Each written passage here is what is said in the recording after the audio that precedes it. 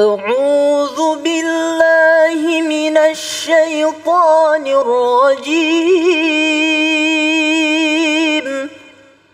بسم الله الرحمن الرحيم.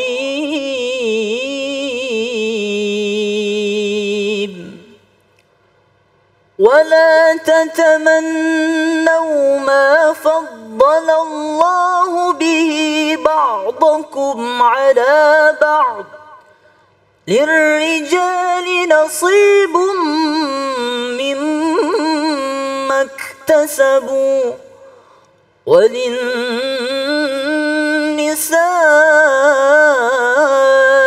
نصيب مما اكتسبن.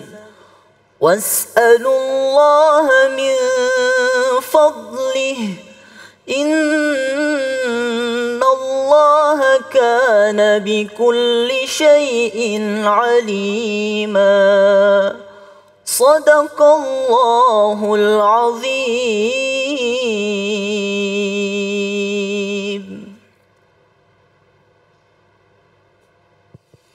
Bismillahirrahmanirrahim. Allahumma salli ala sayyidina Muhammad wa ala sayyidina Muhammad. Assalamualaikum warahmatullahi wabarakatuh.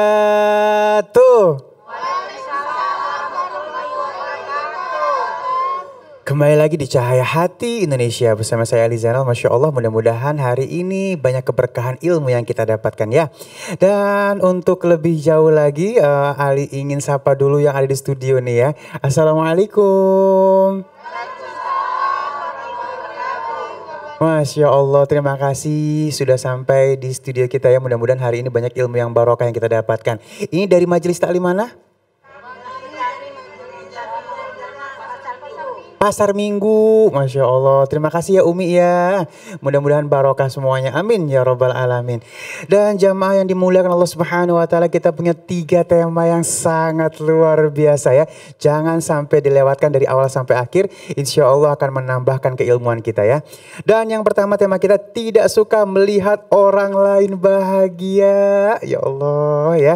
Ini penyakit hati ini ya. Iri Masya Allah ya. Dan yang kedua sumber permusuhan. Apa aja sih sumber permusuhan itu? Yang ketiga hilangnya rasa percaya. Masya Allah. Nanti kita bertemu dengan guru-guru kita yang dimuliakan Allah Subhanahu Wa Taala. Al Ustadz Abdul Rahman Jailani, Ustadz Zaki Mirza dan tentu saja Ustadz Syam nanti untuk ngaji yuk ya. Dan sekarang langsung aja kita akan bahas tema kita yang pertama. Tidak suka melihat orang lain bahagia bersama guru kita yang dimuliakan Allah Subhanahu Wa Taala. Al Ustadz Abdul Rahman Jailani. Assalamualaikum guru. Waalaikumsalam warahmatullahi wabarakatuh. Masya Allah ini sebenarnya apa ya nikmatnya di refresh nih ya. Naam. Karena eh, sering kita bahas tentang hal ini tapi memang harus terus di refresh. Betul. Diingatkan lagi, diingatkan lagi. Nah kadang-kadang kita juga nggak paham ini iri bukan sih gitu kan. Aneh tuh iri apa enggak sih? Apa ada sih iri di dalam diri aneh? Nah gitu. Mohon ilmunya guru silahkan. Naam. السلام عليكم ورحمة الله وبركاته. وعليكم السلام ورحمة الله وبركاته. الحمد لله الحمد لله الذي أرسل رسوله بالهدى ودين الحق ليظهره على الدين كله وكفى بالله شهيدا. أشهد أن لا إله إلا الله أشهد أن محمدا عبده ورسوله. اللهم صل وسلم وبارك وكرم وشرف عظيم على سيدنا وحبيبنا nabiyyina wa maulana Muhammadin sallallahu alaihi wasallam wa ala alihi tayyibin at-tahirin wa ashabihi al-gurril mayamin wa man tabi'ahum bi ihsanin ila yaumiddin amma ba'd.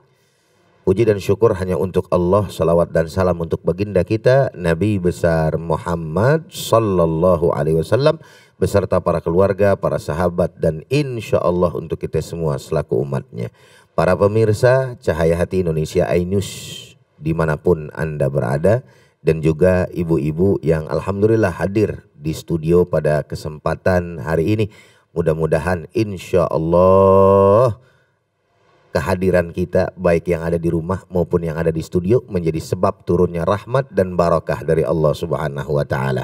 Amin ya rabbal alamin. Tema kali kita eh tema kita kali ini ya jadi terbalik tuh yaitu tidak suka melihat orang lain bahagia.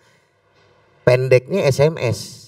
Gitu. Susah melihat orang senang maksudnya gitu Ah, kan. itu dia tuh benar-benar. Senang ngelihat orang susah, Susah. kan gitu. Iya, SMS ya. Iya, Iya, iya. cuman ada yang atuh deh tuh susah melihat orang senang. Senang. Musinya ada smos. Mana kita SMS aja deh. Iya, iya, iya, iya, iya. Dipaksain bener gitu Iya, kan. iya, iya. Nah, tapi begitulah yang memang terkenal di tengah-tengah kita bahasa dengki, hasad ini disingkat sedemikian rupa seperti tadi. Jadi orang itu kalau udah punya penyakit hasad gitu ya, itu susah ngelihat orang senang. Tapi senang banget ngelihat orang susah. Susah. Tuh, masya Allah. Jadi ini merupakan penyakit yang amat sangat berbahaya ya. Jadi bukan hanya saja para pemirsa untuk kita, Bu, gitu kan. Tapi memang di dalam agama kita ini perkara yang amat sangat luar biasa dahsyatnya. Orang yang punya sifat iri sama hasad, ada yang mengatakan beda loh. Islam, Islam bahasanya hasad, bukannya iri. Iya kan, bukannya dengki. Walaupun iri dengki masuk ke dalam kategori hasad. Tapi hasad punya tingkatan yang lebih tinggi. Kenapa? Kalau misalkan iri itu cuman ngelihat seseorang nggak senang atas kenikmatan yang ada pada dirinya. Itu yang namanya iri. Maksimalnya itu yang namanya dia punya kenikmatan pindah sama kita. Oh, Itu iri. oh. Tapi kalau misalkan hasad, Hasad. nih, hasad nih, bagaimana caranya nikmat itu pindah dari dirinya? Kalau perlu dia dianya hilang. Masya Allah. Astagfirullahaladzim. Kan dia. begitu ya. Oh, oh. Jadi kenapa? Karena akibat daripada permusuhan, kebencian yang amat sangat luas, luar biasa yang ada di dalam diri seorang pembenci tadi atau seorang yang hasad tadi. Makanya bagaimana tidak, Bu? Kalau yang namanya orang hasad tadi sama kayak dengki, berarti bahayanya nggak seberapa. Tibang dia iri doang, dia ini yang ibarat kata ah, rugi kan gitu kan bahasa kita ya. Mau ngapain kita pusing sama orang iri dengki? Tapi ternyata nggak begitu, Bu. Makanya di dalam tiga surat yang kita kenal namanya trikul, trikul ya. Iya kan? iya. Tiga kul gitu Kul, kan. iya. Jadi kul huwallahu ahad al-ikhlas kul a'udzu birabbil falak Falak. al-falak kul a'udzu birabbin Bin nas. Dalam surat al-falak coba lihat. Wa min syarri hasidin idza hasad. Hasad. Masya Allah. Artinya kita minta berlindung kepada Allah. Dari orang-orang yang dengki, yang hasut ketika dia hasut. Masya Allah. Oh. Artinya timbul dong pertanyaan nih para pemirsa yang sama dirahmati oleh Allah Subhanahu wa taala. Ada apa gerangan sampai Allah Subhanahu wa taala mengabadikan itu ayat dan kemudian menga- mengarahkan kita untuk berlindung kepada Allah dari orang yang hasut. Artinya bahwa orang yang hasut dan hasutnya tersebut di dalam dirinya itu amat sangat luar biasa bahaya bagi dirinya maupun orang lain. Masya Allah, tabarakallah. Jadi ini yang harus sama kita pahami. Jadi ketika kita berbicara tentang hasut ini berarti ini bukan perkara yang yang yang enteng. Ini bukan perkara yang artinya sepele, tapi ini perkara yang bahaya. Karena sumber daripada yang namanya hasut, dengki, itu apa sih? Dan dari mana sih? Iblis laknatullah alaih. Please, bilang bener banget guru. Ini ujung pongkolnya nih. Iya, iya. Gara-gara apa itu tadi itu? Dengki ama yang namanya siapa? Nabi Allah Adam alaihi salatu wassalam. Gara-gara apa tuh? Sifat sombong yang amat sangat luar biasa. Makanya dikatakan ma Allah wa idh qulna lil malaikati isjudu li adama fasajadu illa iblis aba wastakbara wa kana minal kafirin wal iyadu billah min dzalik. Jadi ketika kami memerintahkan kepada para malaikat kata Allah untuk apa bersujud kepada Adam dalam pengertian penghormatan sujud kepada Nabi Allah Adam alaihi salatu wasalam mereka semuanya sujud illa iblis kecuali iblis. Aba mereka ah, dia enggan, wastakbaro dia kibir. Tuh. Makanya yang namanya kibir ini betul-betul akan menjadi salah satu penyebab yang besar dan juga utama akan adanya sifat hasut tadi. Karena dia nggak mau tersaingi. Orang kalau kibir begitu. Jadi orang kibir tuh nggak mau dia tersaingi. Dan sifat hasut ini yang lebih bahaya lagi saudara hadirin. Itu bukan hanya terkena bagi orang-orang awam. Tapi sekaliber yang namanya ulama, Masya Allah. Ya Allah. mempunyai daripada sifat hasut seperti ini. Hmm, tanpa Maka- sadar. Masya Allah. Makanya dikatakan sifat hasut justru atau iri dengki yang model macam kayak begini. Ini kan dagangan setan dalam salah Iya. satu keterangan daripada baginda kita Nabi besar Muhammad Shallallahu Alaihi wa Wasallam. Dan Nabi mengatakan bahwa dagangan setan yaitu hasut ini paling laku. Ame siapa lakunya? Al ulama. Ya Allah. Na'udzubillah. Malah yang paham agama ya. Ya. Dzalik. Dan dan dan artinya tidak tidak terkecuali kita. Makanya tadi dikatakan hamba Bang Ali sendiri apa sadar sadar, atau apa tidak sadar. Kadang-kadang kita masuk itu. Bahkan Ujai sendiri secara pribadi pun. Misalkan ngelihat sohib gitu kan. Ustadz Jaki, rada enak kan nih jadwal nih keluar kota nih. Oh, banyak banget, beberapa titik Gua kayaknya sepi nih. Iya, gitu iya, kan. iya, iya, Udah iya. tuh, setan bisikin tuh. Heeh. Oh, Aduh. jangan-jangan. Wah. Iya, akhirnya kalau misalkan orang ngomongin, kita ngomongin sendiri sohib kita. Iya. Mumpung orangnya kagak ada masih di luar kita omongin sekarang. Iya. Iya, iya benar benar. kita omongin sendiri kita punya sohib. Ada jamaah yang apa namanya eh, nanya umpamanya Ustadz kemarin alhamdulillah tuh Ustadz tuh Ustadz Jaki ceramah di tempat aneh Ustadz wah kapan-kapan ente deh Ustadz eh tapi aduh kemarin antusias banget tuh jamaah tuh Ustadz Jaki tuh ngomongnya sama kita Ustadz juga pegel nggak kita dengerin Iya, makanya. Iya iya iya. Dibandingin habis itu. Nah, ya? iya, dibandingin Heeh. mulai dah kuping kita dah Heeh. disusupin sama yang namanya apa Iya. setan iblis mau ngeredam Akhirnya ya. kita udah ngomong, ya biar kata rame juga dia mah begitu. Beda sama gua. Kalau dia mah Ah. mana? Palingan berapa sih orang begini begono, begini begini. Habis, nggak sadar keluar dari mulut kita. Astagfirullah. Menjelekkan daripada saudara kita, sahabat kita. Itu dari mana asal? Sifat hasud, dengki, iri, wal billah min dalik. Apa gerangan penyebabnya ini yang menjadi masalah? Jadi penyebabnya seseorang itu hasut, iri, dengki dikarenakan tadi yang pertama, gitu kan, sombong karena tidak mau tersaingi. Iya. Nah, gitu kan, dengan orang-orang yang yang yang memang eh, sama seperti dia. Mm-mm. Makanya selain daripada yang namanya masalah ulama sendiri, Bang Ali, para pemirsa, ibu-ibu semuanya, biasanya kalau yang namanya hasut itu sesama, seprofesi, Selepelan. Iya, Heeh. selepelan. Kang bakso kagak lucu kalau hasut sama Kang Somai. Iya benar benar benar. Pasti yang dihasutin Kang bakso juga. Iya. Betul kan Bu ya? Iya. Iya. Oh jangan sono lu sini bakso gua aja lu. Iya, Iya, iya. dihasutin sama dia. "Dah, eh, bakso sono kayaknya enak. Iya enak bagaimana? Kagak enak orang pakai tuyul Ya begitu. Allah.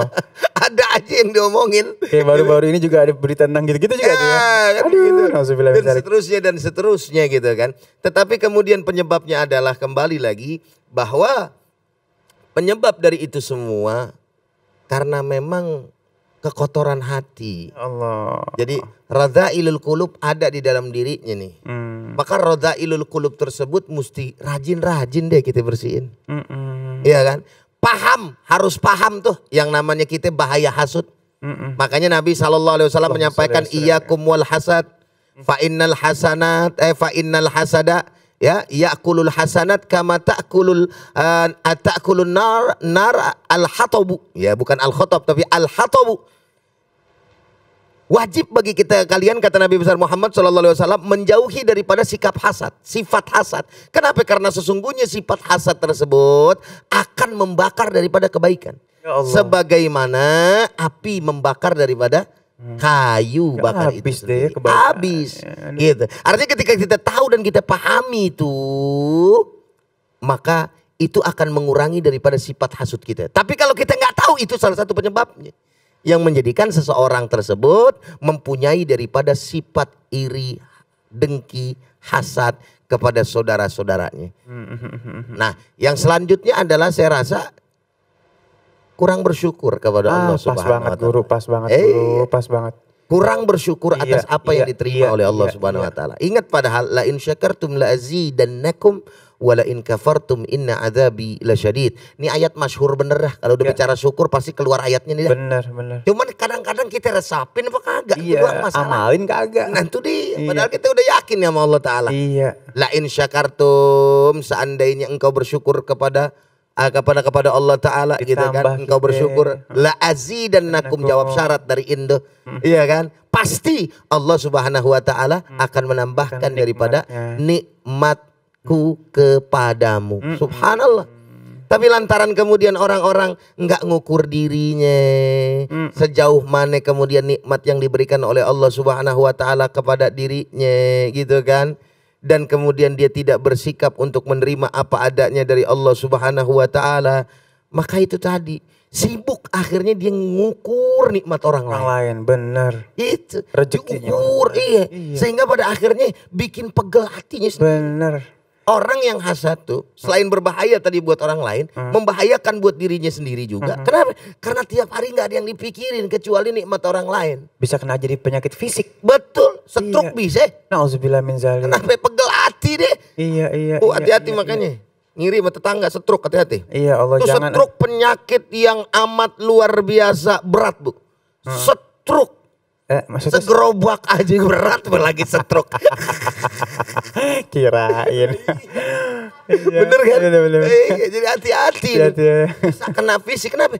Dipikirin. Ya Allah, bener. Ntar dicari deh kesalahan. Gedek sama orang. Iya. Gak berhasil hasadnya. Betul. Aduh, Ya kan? ya. Sehingga pada akhirnya dia hasut lagi tuh orang-orang untuk kemudian membenci orang tersebut. Aduh aduh aduh. Yang dipikirin setiap hari begitu aja. Dia lupa akan diri dia. Allah. Nikmat yang diberikan oleh Allah Subhanahu wa taala. Wallahu a'lam bishawab. Aduh, lengkap banget guru. Makasih banyak. Enak banget ya, enak banget ya. Kita diceritain dari awal sampai akhir, efeknya bagaimana. Terus jangan sampai ada penyakit hati jadi penyakit fisik lagi ya. Baik, dan insya Allah sesaat lagi akan eh, tidak kalah serunya nih kita akan membahas tentang sumber permusuhan bersama guru kita yang dimulakan Allah Subhanahu Wa Taala, Ustaz Zaki Mirza. Jangan ke mana-mana, tetap bersama kami di Cahaya Hati Indonesia.